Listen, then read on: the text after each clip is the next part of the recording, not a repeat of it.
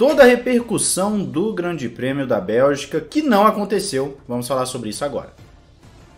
Olá, amigo do Ressaca Fórmula 1, seja bem-vindo a mais um vídeo. Eu sou Matheus Pucci e nós temos várias personalidades da Fórmula 1 falando sobre o Grande Prêmio da Bélgica. Eu já dei minha opinião, vocês sabem muito bem o que, que eu acho, mas o que, que os principais nomes estão falando? Então vamos começar com o seguinte: a organização do Grande Prêmio da Bélgica vai sim buscar uma forma de compensar o público em Spa. A gente tem que lembrar que Lewis Hamilton fez uma declaração pública falando que os fãs deveriam ter o valor dos ingressos aí reembolsados e a organização do Grande Prêmio da Bélgica, representado por Vanessa Mais, acabou falando sobre o que aconteceu domingo. Ela basicamente afirma em seu discurso que estão refletindo sobre a situação e vão discutir com a Fórmula 1 uma forma de oferecer uma compensação aos espectadores por conta dessa situação, deste caso de força maior. Ela também fala que a segurança dos pilotos e do público vem em primeiro lugar, mas que ela sente a mesma frustração dos fãs que estavam presentes. Então a organização deve sim, de alguma forma, trazer um reembolso ou às vezes, quem sabe, dar o ingresso para essas pessoas para a próxima etapa, o que eu acho difícil, né? Porque a Fórmula 1 com dinheiro vai ser um pouco difícil eles querer dar um ingresso para as pessoas. Mas ainda assim, você tem nesse caso alguma forma de reembolso ou de diminuir o prejuízo para os fãs que eles vão buscar. O CEO da Fórmula 1, o Stefano Domenicali, afirmou que os radares da Fórmula 1 não estavam prevendo uma chuva com a intensidade que acabamos tendo no domingo.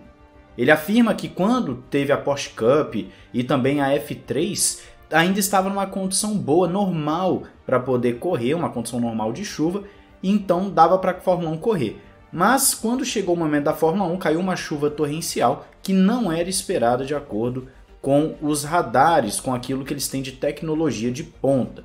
Sabiam que iria chover, mas não o tanto que choveu, e isso explica o porquê de terem ficado um pouco perdidos na hora de pensar o que podemos fazer no caso de ter corrida ou não.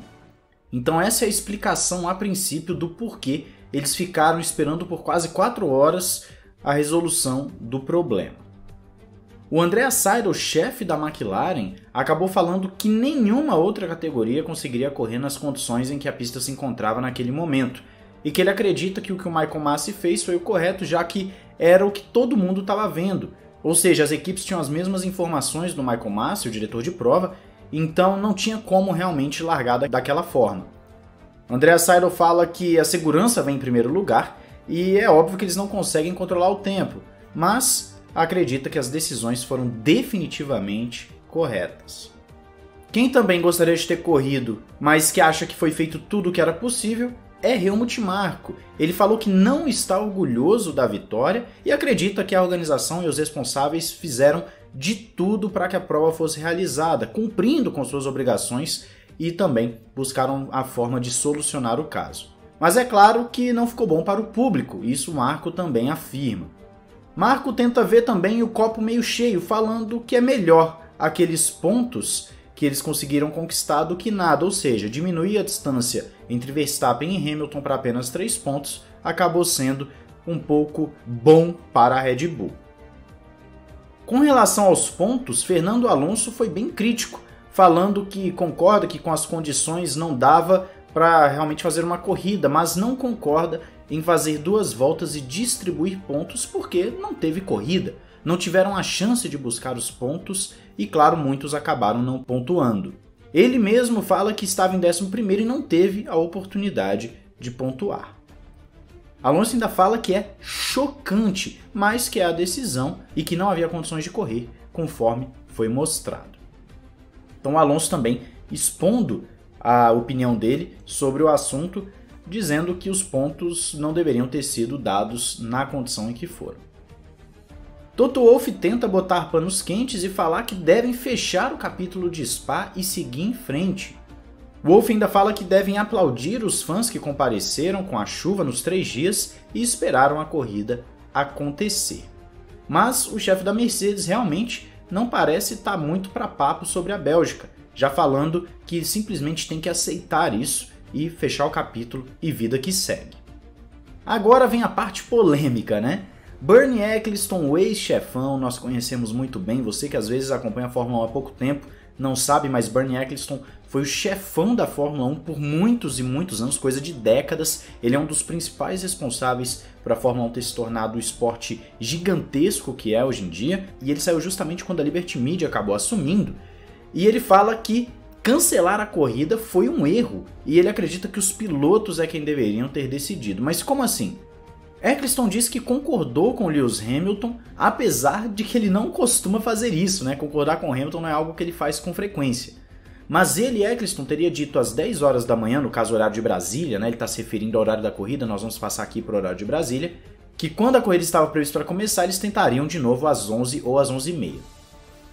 Ele fala assim: se você quiser correr, tudo bem, se não quiser, tá tudo bem também. Ninguém pode apontar uma arma para sua cabeça e forçar a fazer alguma coisa e caberia a eles, pilotos, decidirem se iriam para a pista ou não.